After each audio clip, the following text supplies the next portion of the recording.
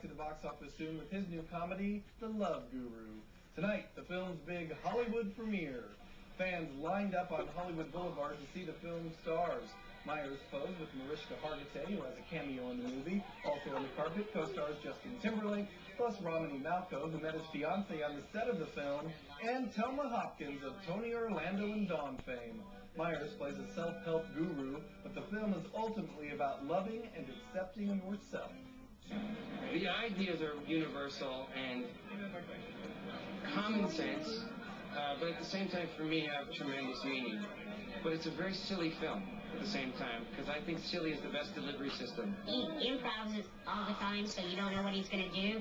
So he keeps you on your feet, and you have to be prepared and don't smile. I'd like to thank the Academy. Wow, these things are heavy. The Guru starts spreading his love in theaters on June 20th. Comedian Brad Garrett is getting into the reality